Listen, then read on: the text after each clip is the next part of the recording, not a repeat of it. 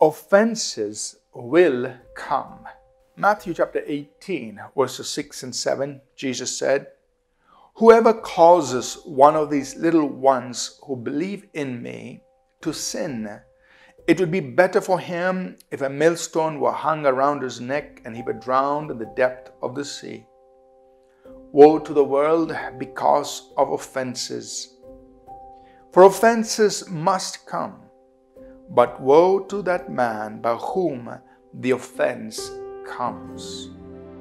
In these two verses, Jesus is revealing several things to us concerning offenses. Uh, in verse 6, he, uh, the word offense is translated to sin, uh, to cause one of these little ones who believe in him to sin.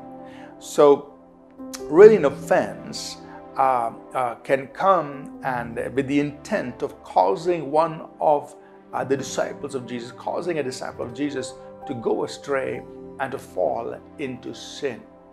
Now, Jesus says in verse 7, you know, the world, uh, it, it is full of offenses.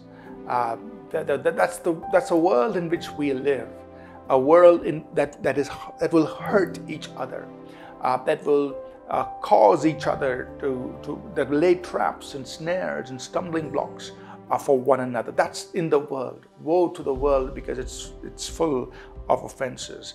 And he says, you know, offenses will come. But he says, look, if somebody is going to place an offense against even a little, the young, the most, the least of the believers, in order to take them away from faith in Christ, he says, woe to that man, meaning God himself will deal with that person.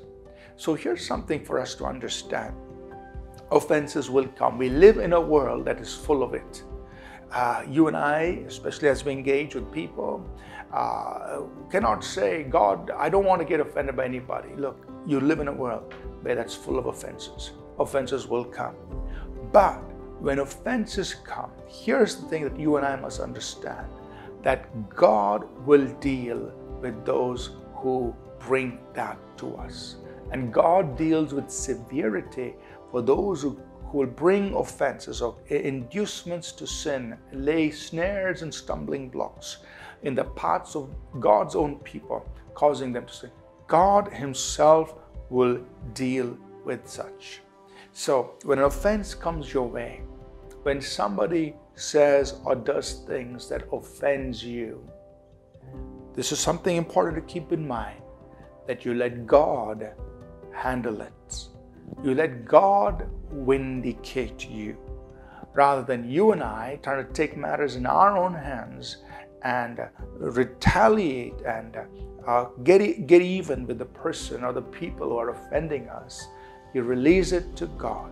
God is watching, and He's watching even the, the offense that comes to the these little ones, Jesus said who believes in him, the least of his disciples who trust in him. God is watching that. God is mindful of that. And God himself will deal on your behalf because he is watching every offense that comes even to the least of his disciples. You are not unnoticed when an offense comes your way. Leave it to God. Rather than taking matters in your hands, let Him deal with it. We live in a world of, of offenses. Offenses will come, but God is watching. Let Him be your vindicator. Let's pray. Father, we thank you that you are mindful of what comes our way. You are mindful of things that hurt us. And even you said, Lord, that even the little ones who believe in you. You're mindful of each one of us. And so, God, we place offenses, things that people have said or done to hurt us. We release them to you and we ask that you will intervene on our behalf in such matters.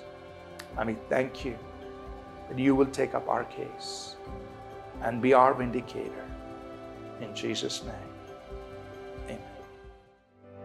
Thank you for tuning in to Living Supernaturally. For more resources to strengthen your spiritual walk, please visit apcwo.org.